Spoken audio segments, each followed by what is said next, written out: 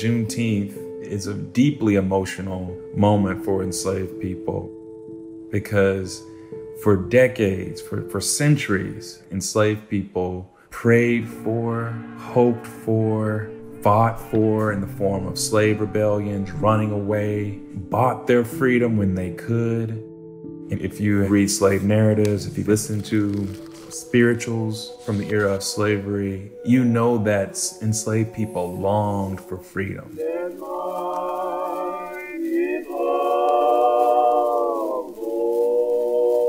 This was something that had been hoped for, but many believe may never come.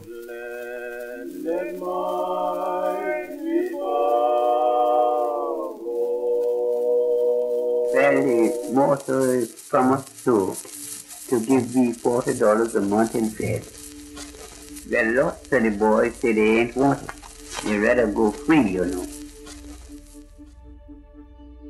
Being able to go wherever they wanted, being able to wonder about. For enslaved people, it was an expression of their freedom. Well, Matt Porter was the one that, that long Miss Porter, one of our white folks in Navy. He come along, we all sitting on the fence, and a colored children come along and asked her did she want to go with him. And she said yes, she mounted one of them horses. She went on with them. I never did see her and hear tell of her no more. When I think about Juneteenth, I think about it in the context of Emancipation Day celebrations that began January 1, 1863. They took on a whole new meaning when slavery was formally abolished after 1865. You would have had African American veterans who fought in the Civil War be prominent in these celebrations, dressed in their military garb, speeches from enslaved people, the most prominent black politicians singing of hymns, spirituals, discussions of, of registering to vote. Enslaved people celebrating in public their newfound freedom was an act of resistance.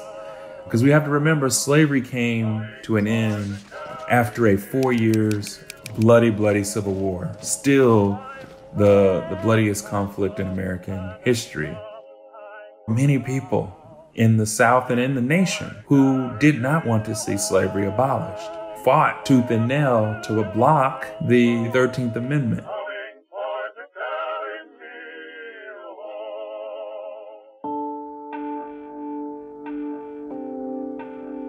The abolition of slavery created a huge humanitarian crisis in the South.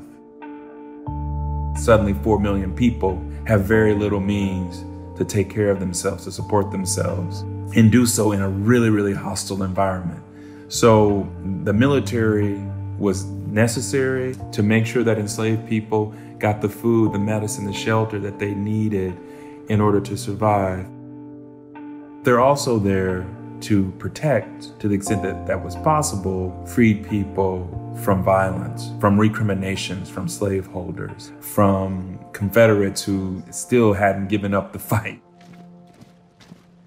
And I remember when the Yankees stopped here, and the Yankees stopped back on the corner of Square, and they prosecuting people, you know.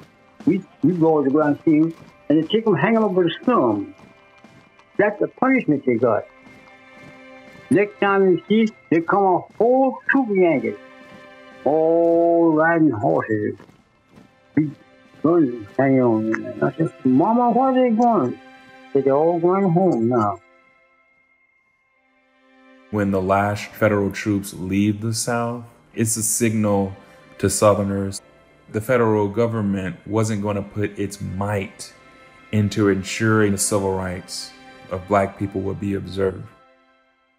You have 20, 30 years later, black people being lynched in public, and there isn't a, a federal anti lynching law to protect them. In most communities in America, there's a history of lynching and racial violence, and very few communities have marked that, commemorated that. Every decade since the end of slavery, black people have been more educated, accrued more wealth, more status in American society. Every decade since 1865. But there's been one constant, and that constant is the presence of random racist violence.